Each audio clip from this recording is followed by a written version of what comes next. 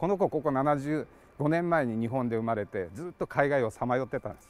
だからこの子を日本に里帰りしてずっと祖国の空で飛ばし続けてあげたい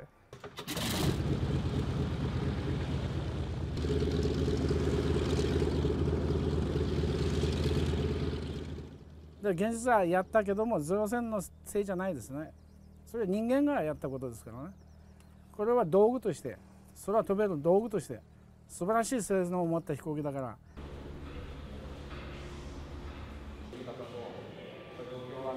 何万